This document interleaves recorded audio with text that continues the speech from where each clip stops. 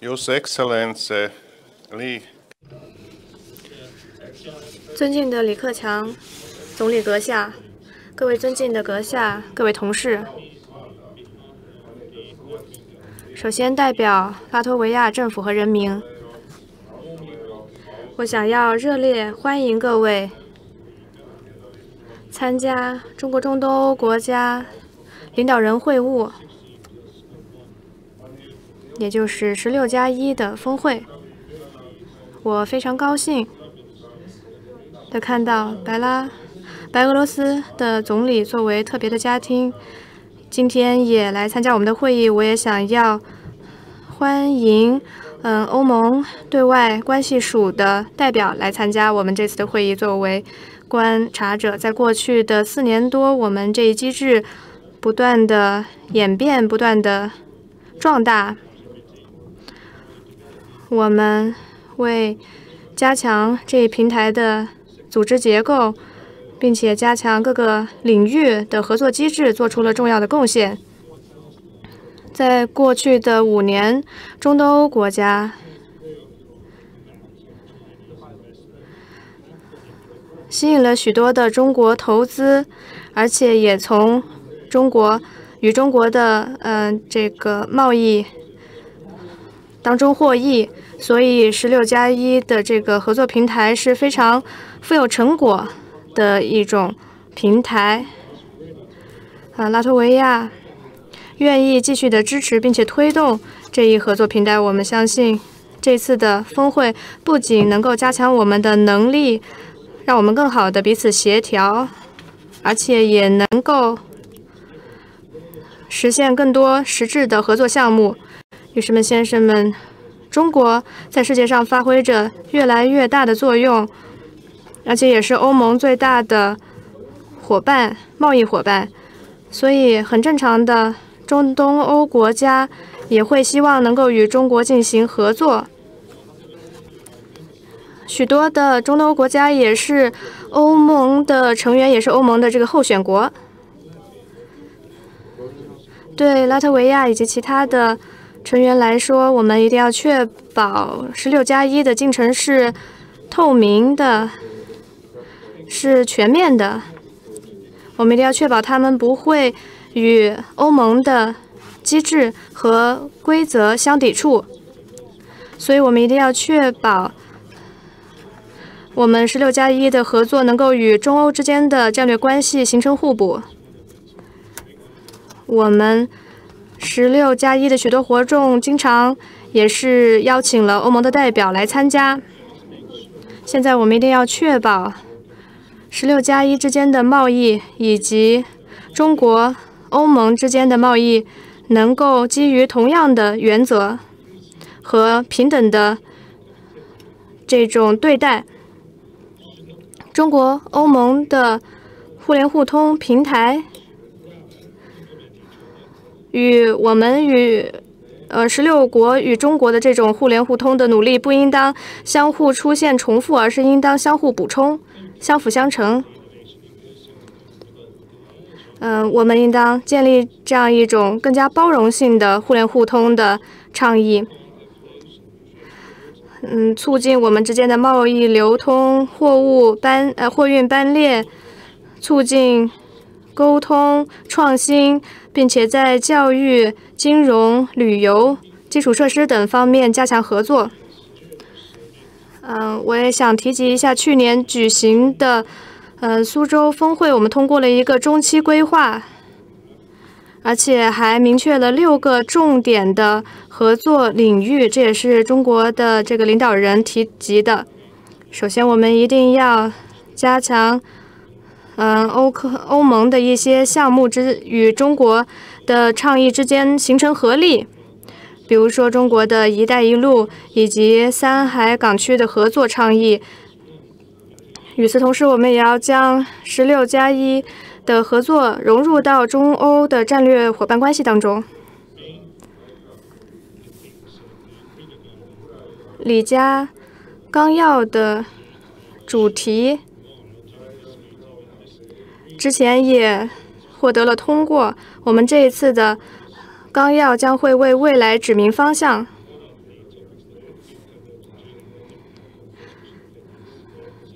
而昨天我们也举行了智库的会议邀请了许多十六国的这个智库专家代表来参加。我们还需要加强中东国家的这种交通网络，让它能够更好的融入到“一带一路”的交通网络当中。与此同时，我们也在建立必要的基础设施。从而建立一个统一的中东欧国家的交通网络。在拉脱维亚，嗯，今年五月，我们也举行了相关交通部长的会议，来探讨这一重要的议题。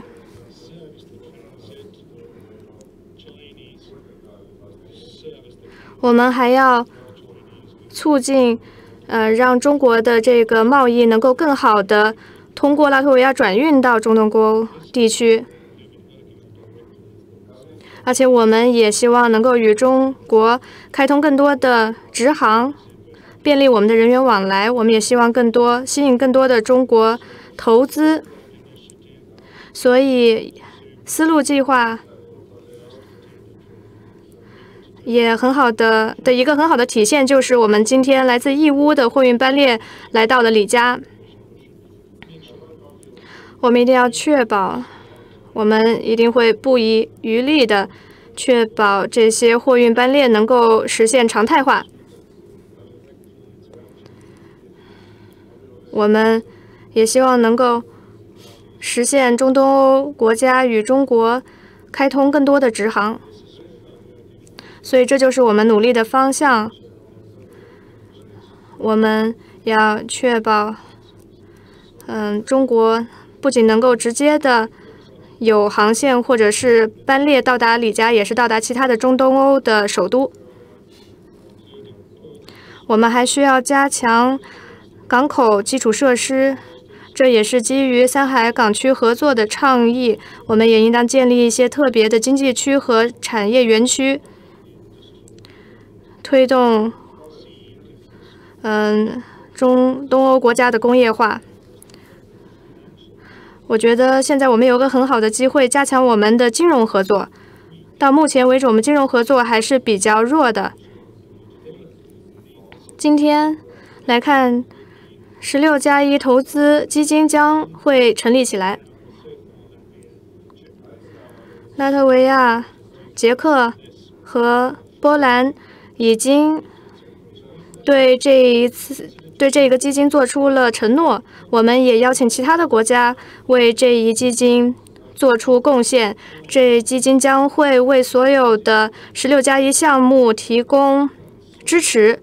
我们也希望能够建立一个银行业的联合体，从而呃发展不同的这种金融合作的模式。另外一个方面就是贸易。最近我们的统计显示，我们有很好的潜力来继续的发掘。当然，我们的这个贸易量可能与中国的市场需求来说相比还是比较小的。我们希望能够进一步加强向中国的出口。我们也应当嗯探讨以一些新的方式加强与中国的。贸易，比如说通过电子商务，还有其他的新的模式来加强贸易。所以，我们也在寻求其他相关机构的支持，比如说像商会、像国家投资发展机构的一些支持。我们在二零一七年的时候也将会举行一个关于促进贸易投资的一个专门的会议。我们也要确保。人文交流能够继续的得到加强。我们今年希望能够加强这方面的交流。我们希望能够在教育科技旅游业方面加强合作。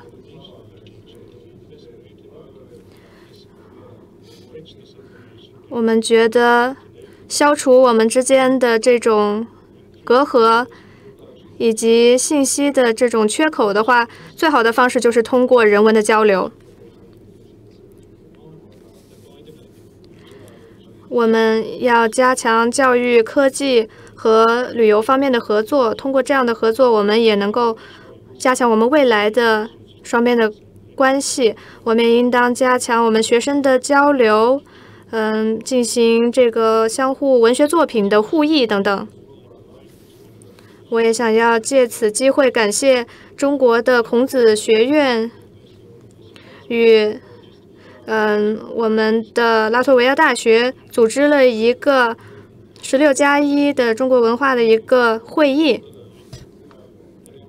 我也想要强调，我们在科技合作以及创新方面的合作有一个非常光明的未来，因为以实现各个领域的嗯更高的质量和效率的话，我们是需要科学和。技术方面的合作的，女士们、先生们，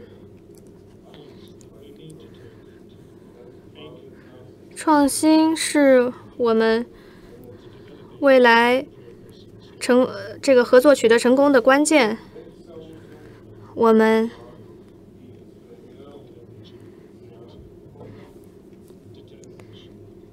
一定要嗯坚定我们的决心，继续推动我们的合作。现在。有请，嗯，中方的领导李克强总理发言。尊敬的库钦斯基斯总理，各位同事，首先感谢拉脱维亚政府和库钦斯基斯总理为本次会议做出的周到安排和精心准备，也对。欧盟、奥地利、瑞士、希腊、白俄罗斯、欧洲复兴开发银行作为观察员与会，表示欢迎。今年九月，在中国举行了杭州 G20 峰会，明确要继续构建开放型的世界经济。这是各方的共识。十六加一与中东欧的合作就是开放性的。五年来，在我们的共同努力下，各领域的合作是开放包容、扎实推进。去年苏州会晤以来，我们已经取得了一些合作框架下的。丰硕成果，像匈塞铁路、斯坦纳里火电站并网发电、斯梅代雷沃钢厂并购成功等等，在人文、地方、青年等二十多个领域合作持续推进。苏州纲要确定的五十多项措施已基本落实。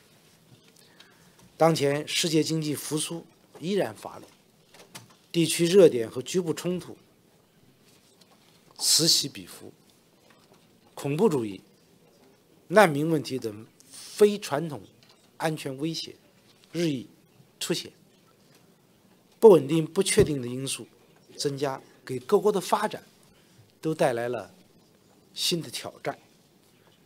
在这种情况下，我们应该进一步这扩大共同利益，因为我们的相互需求也在增加，携手推动“十六加一”在更大范围、更高层次上的合作，有利于世界经济复苏，维护贸易自由化和全球化。进程也有利于世界的和平，造福各国人民。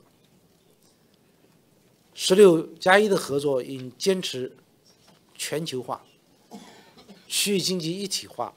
这过去几十年，世界之所以能够得到快速发展的方向，这符合各国的长远和根本利益。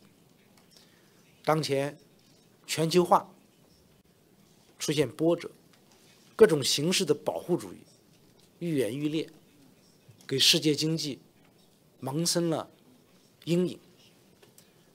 我们积极推动贸易和投资自由化、便利化，相互扩大市场开放，深化区域经济合作，共同反对贸易和投资保护主义，既为自身发展提供动力，也是为世界经济复苏贡献力量。十六加一离不开和平、稳定。可持续的国际环境，恐怖主义是人类公敌，中国和欧洲都是恐怖主义的受害者。当前难民和移民问题突出，不仅给相关国家带来冲击，也地区影响地区和平稳定。国际社会应该加强协调，共同应对，妥善解决难民和移民问题。中国。已经明确表示对此给予力所能及的支持。欧洲是世界重要的一极，中欧之间没有根本的利害冲突，双方处在不同的发展阶段，经济互补性很强，双方都奉行多边主义，都主张维护文明多样性，都是国际体系的积极参与者。和建设者，十六加一合作是中欧合作的组成部分，有益补充，有利于欧洲的平衡发展，有利于欧洲经济的一体化。我们的合作也是按照中欧、中国和欧盟合作形成的成熟的经验达成的规则。中国和十六加一内欧盟国家的合作，都是遵守欧盟的法律，我们相互尊重对方，有利于呀中国和欧盟关系的发展，也有利于中国和中东欧关系。顺利的前行，中国希望看到一个团结、繁荣的欧盟，这符合中国自身的发展利益。我们愿意看到一个多极化的世界，愿意看到强大的欧元，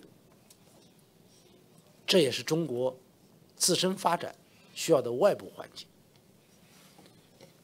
各位同事，经过四年多的发展，十六加一机制更加完善。本次领导人会议针对一些现实问题来进行探讨，我愿提出以下四点建议：一是深化基础设施和互联互通合作，中方鼓励国内信誉好、实力强的企业以工程承包。PPP 等模式来参与中东欧国家高速公路网、港口网、电网、互联网等建设，愿推动匈塞铁路和中欧陆海快线的建设，打通纵观中东欧地区的交通大动脉，也支持亚欧之间运输通道建设，增加中欧。班列的数量，在中东欧国家设立更多的物流中心，进一步提升中东欧国家在亚欧大陆桥的枢纽作用。这也是使中国的一带一路倡议和中东欧各国发展规划相衔接的支撑。第二，更好的发挥金融合作的。依托作用。中国有性价比高的优势装备和产能。中国和中东欧都处在工业化的进程当中，有的国家还要推进再工业化。经济互补性决定了合作前景的广阔。十六加一不缺优质的项目，但融资仍然是一大难题。刚才我在经贸论坛上宣布，十六加一金融控股公司正式成立，中方已同波兰、捷克签署了出资备忘录，欢迎中东各国积极参与。中方呢，愿意啊，用更多的人民币和相应的欧元，在国际市场融资，推动这个公司有很强的融资能力。同时呢，中国的丝路基金等金融机构也会通过股权、债券等多种方式，为“十六加一”项目提供金融支持。中方也愿意在欧洲复兴银行框架下开展三方合作。融资的渠道可以是多样化的，但要。坚持企业为主，市场化运作。政府推动也是遵循商业原则，不是单方面受力，是互利。相信有了金融合作的金手指，有很多大项目能够很快的发展起来。第三，开拓绿色经济合作的新空间。中东国家自然条件优越，农产品品质物美价廉，契合中国居民消费加快升级的需求。中国愿从中东欧国家更多进口优质农产品，同时扩大农业投资和贸易，积极探讨共同建立加工基地。这也是。装备合作的一个产能合作的一个重要方面，这样有利于中东欧国家农产品提高附加值，适应中国市场需求，扩大出口。中国还愿意在生态环保、清洁能源等领域和各方合作。第四，进一步密切人文领域的交流，我们应充分发挥。教育、文化、旅游、卫生、地方、青年等合作的机制，把人文交流做深做实。今年是“十六加一”人文交流主题年，中国同中东欧国家先后举办了文学论坛、文化产业论坛、中东欧国家画家来华写生等丰富活动。人文交流和经济交流相辅相成。现代的世界，人们的需求多样化，往往需要文化创意。我在经贸论坛上谈到了这次会议的会标，这个钻石型的十十六加一的标志。这本身就是一种艺术的设计，它就带有既体现人文精神，又能够满足人们对多样化产品的需求。因为现在人们对产品的需求是个性化的、多样化的，所以。人文交流有助于经贸交流，也有助于催生各国人民的蕴藏的创造力。正是有这种创造力，经济才能得以发展，社会得以进步。中方也支持尽早成立“十六加一”文化协调中心。举办未来未来之桥青年研修班，在未来十年邀请一千名中东欧国家青年来华培训。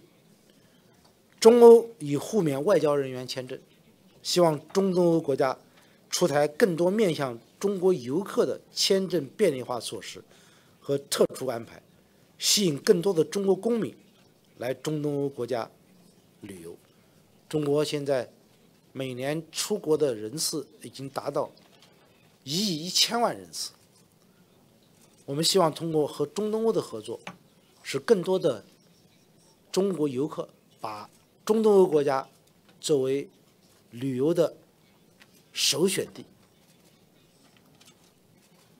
中方也支持2017年举办“十六加一”媒体年，增强合作的透明度，促进民心相通。只有民间往来热热闹闹，我们国家之间的合作才会红红火火。